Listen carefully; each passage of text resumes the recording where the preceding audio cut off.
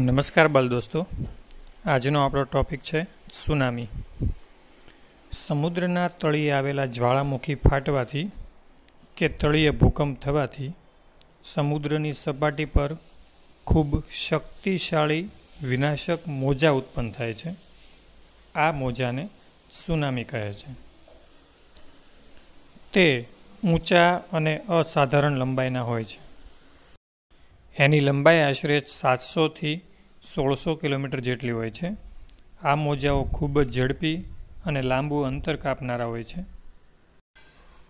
આ પ્રકારના મોજાથી પાણી ઝડપથી કાંઠા પર ઊંચે સુધી ચડી જાય છે અને મોટી હોનારત સર્જે છે. જે અગિયાર માર્ચ બે હજાર અગિયારમાં જાપાનમાં જોવા મળ્યું હતું. વંટોળ કે ઝંઝાવાતથી મોટા અને શક્તિશાળી મોજા ઉત્પન્ન થાય છે.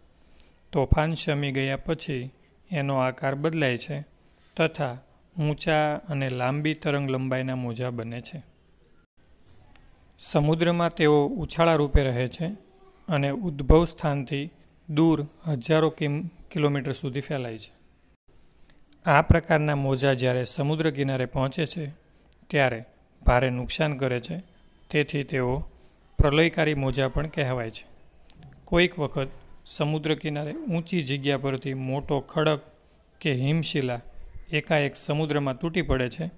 તેનાથી પણ પ્રલયકારી મોટા મોજા ઉત્પન્ન થાય છે. હવે વિદ્યાર્થી મિત્રો, એક પ્રશ્નનો જવાબ તમારે તમારી નોંધબુકમાં લખવાનો છે. પ્રશ્ન છે, તમારું ઘર દરિયા કિનારે હોય અને સરકાર દ્વારા તમને સુનામીની સૂચના આપવામાં આવે તો સ્વ બચાવ માટે તમે શું કરશો?